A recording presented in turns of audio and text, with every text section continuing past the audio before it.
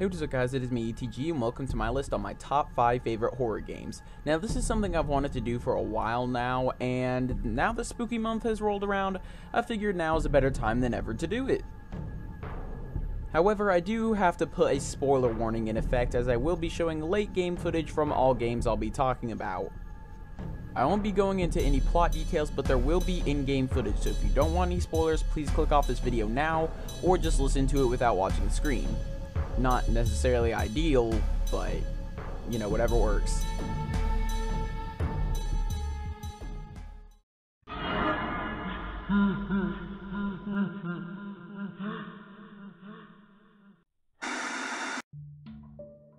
Tattletail is a horror game that takes place in Christmas of 1998 where you must fend yourself off from a Furby-like creature known as Mama Tattletail. Well, you also have a Tattletail of your own, which you got as a Christmas present that you decided to open early. Which you probably shouldn't have done. What kid would want this toy anyways? It's so loud and annoying and never shuts up. Eh, at least he's cute though. Tattletail certainly isn't the scariest game out there, but can get pretty tense when Mama gets close.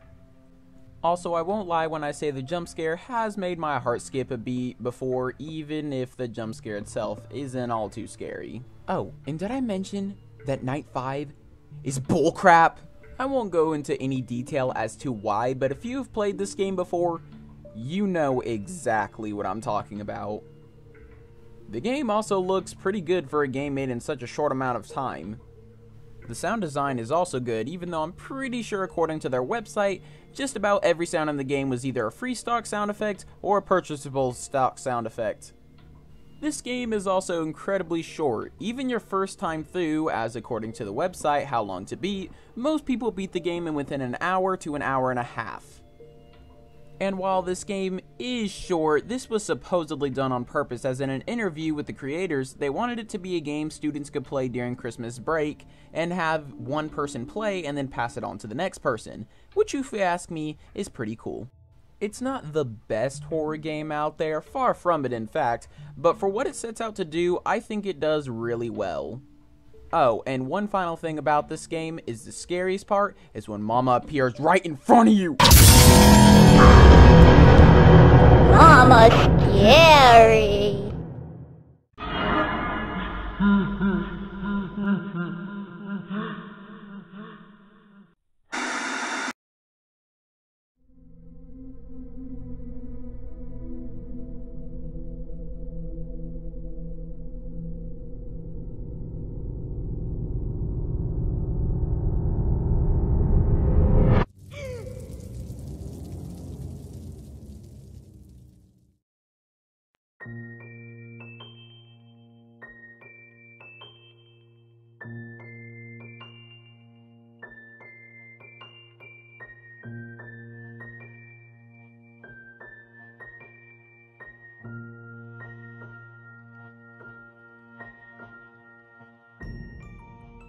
Little Nightmares is awesome.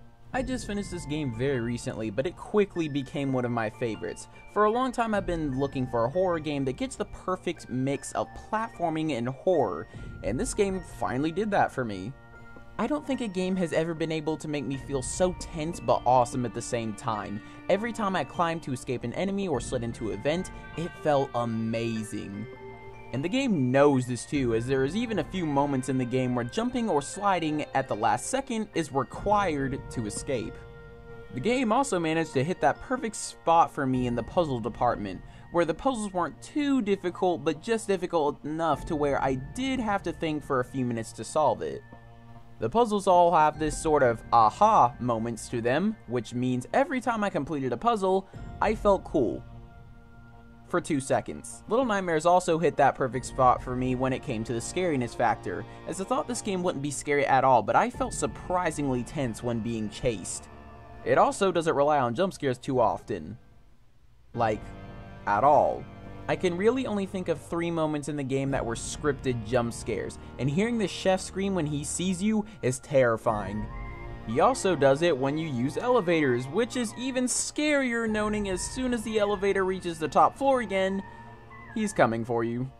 Little Nightmares also feels a lot like if one of those Little Big Planet 3 horror levels was more fleshed out and longer and the controls were smoother, which is a good thing. Even being chased around by the enemies reminded me a lot of Little Big Planet 3. Jeff? See? Jeff! He's upstairs, guys! I'm trying to jump out of the house! no! Jeff, don't do it! Guys, I'm gonna go. Jeff, Jeff, think about this. Jeff, just, just, do you wanna do it? Okay? I could bring you ice cream and cookies. Man, Jeff, don't He's docile. I have him docile. Sugar. No, Smarty, you just undociled him! running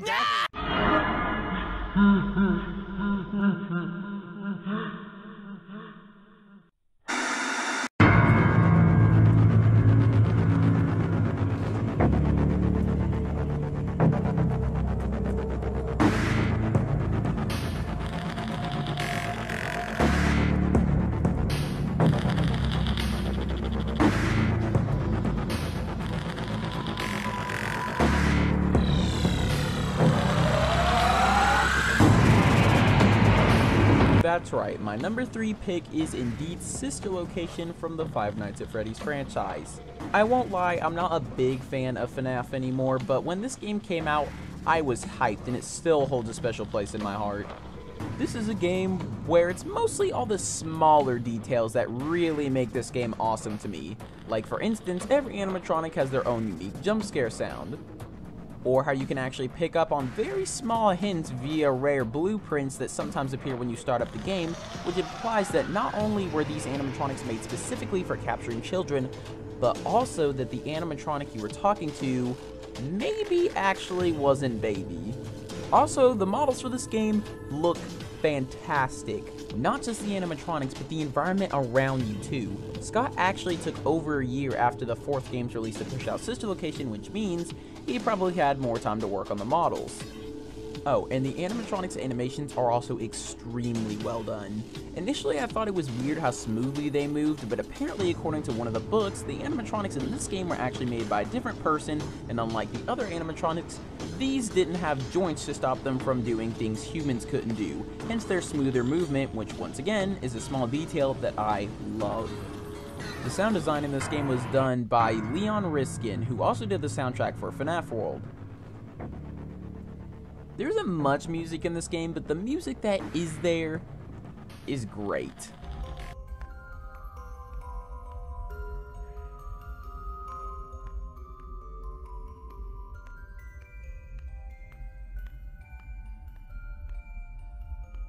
Interestingly enough, you never actually see an in-game model of Baby outside of the title screen all but once, making it feel as if she's more of a presence rather than an entity, which is creepy. I mean, you hear her voice all the time, but only ever see her once, which, once again, means that maybe it's not Baby who was speaking to you this whole time. The Funtime Foxy section can also go die in a hole. Not because it's difficult, no, no, no, no. It's because it's too freaking scary. Also, we are not even going to speak of Night 4, due to the fact that Night 4 actually sent me into a panic attack multiple times. And no, I'm not joking. The idea of having the faceplates pop open for a jump scare was actually really cool. At first I thought it was just kind of weird as I didn't really see a reason for them to have faceplates other than to add something new to the jump scares until it occurred to me that the reason they have faceplates is for easier access to the endoskeleton when they need repairs, which is something you actually have to do in this game. Also, the little segments that play when you're at home, they're great. Clara, the baby isn't mine. It is, Vlad. They had trouble catching him in the nursery today.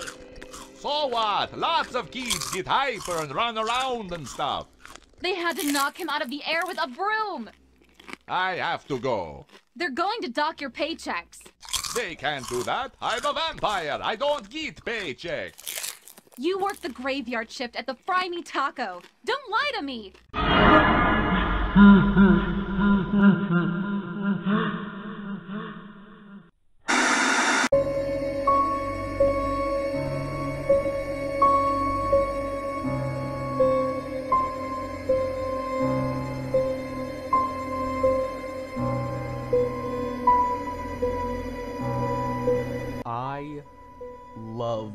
Dark Deception.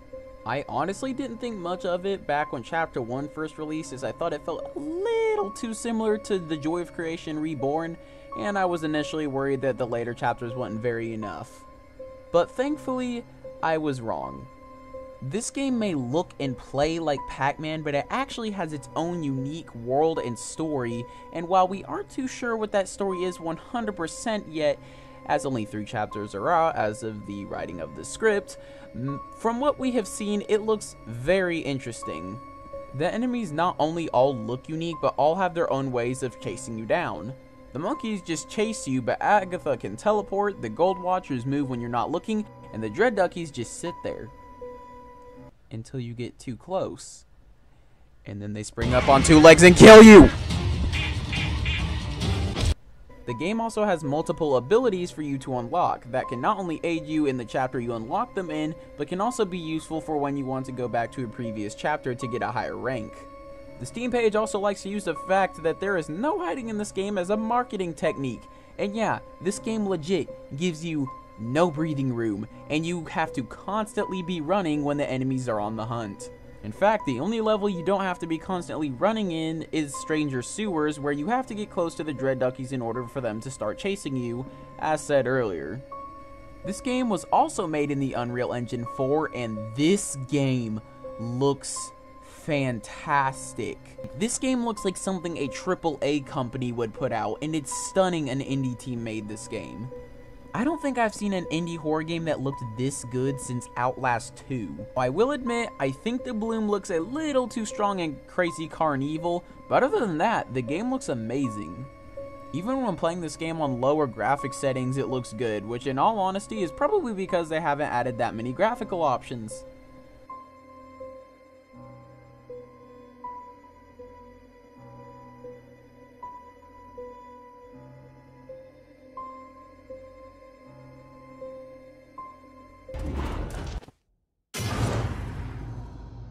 About the enemy designs though? Well, they're all well done so far. The monkeys, from what I can tell, are based Going off back to the old gameplay, creepy cymbal monkeys. this game Agatha will make looks your a bit typical, but her like freaky crazy. long And fingers when you make finally see it. you- the you escape the Gold screen, Watchers, you feel more relieved than you well, they probably look about as creepy as a statue a horror game. The Dread Duckies. And the clowns, eh, honestly, just a bit typical. If I were to say my biggest problem with this game, it would be that it feels like some levels have too many soul shards just to pad out the game a bit. But most of the levels have good amounts. Most of them. And yes, all of the jump scare animations look great.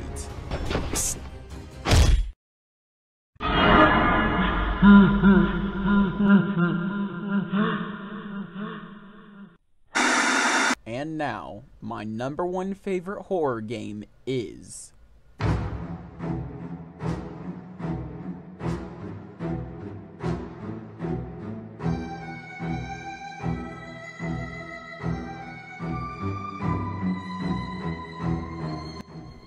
This game. Bendy and the Ink Machine is so dang good, and I love it to death. Now, is it the scariest horror game out there? Is the gameplay shallow? 100%. But that doesn't matter because this game is so well crafted. I will be separating this game into different sections because if I didn't, it would be all over the place. So, live with it, I guess. I don't even know what I'm saying. This part even isn't even in the script, by the way. I'm going completely off script for a second. Moving on. I suppose we should start with the graphics and art style. This game certainly does not have the greatest looking graphics out there, but they do look really good nonetheless. And even if the graphics don't look perfect, they don't need to because this game's art style is extremely well done, and is probably the most unique looking horror game in years. According to the creator, The Meatly, his mindset when creating the art style was he wanted it to make it look like you're walking through a sketch, which explains why the game is sepia toned and not black and white. Everything has the perfect mix of textures and 3D. Enough textures to where the game looks like you were inside a sketch, but also enough depth to where it doesn't feel like as if they were like, oh, it's a sketch, so everything can just be textured. And this art style seems to be even closer to perfection with the Bendy and the Dark Revival trailer we saw earlier this year. Next, let's look at the story. Ha, just kidding, we're not going into the story as I don't want to spoil it, so let's just move on to the gameplay. The gameplay, like I said, is pretty shallow, and you'll mostly be walking around, occasionally fighting off enemies, solving puzzles, and looking for items. This game does have some stealth sections in it, but unfortunately doesn't implement any mechanics to it to make it more fluid, like peeking or crouching. But luckily, the game doesn't have too many stealth sections, and at least two of them manage to work somewhat well.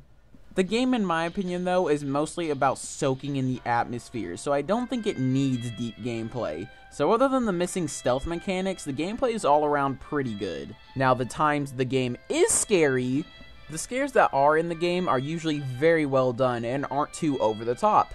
Looking at you, Ultimate Custom Night. Sometimes in Chapter 3, Bendy will just show up as this is the only chapter where he freely roams the map, and the sound of the music kicking in out of nowhere will probably make your heart skip a couple beats. And the sound design is so dang good. Like sometimes you can just walk up to an object like a desk and hear things like paper rustling. There is also random creaks from time to time, which keeps you paranoid. Oh yeah, and the voice acting is actually very well done for an indie team's first game, and I'm assuming most of, if not all of the voice actors have had experience with voice acting before. Bendy and the Ink Machine will always have a special place in my heart, even if another game takes the number one spot someday. And the final thing I'll say about this game is, dream too big and you will fall.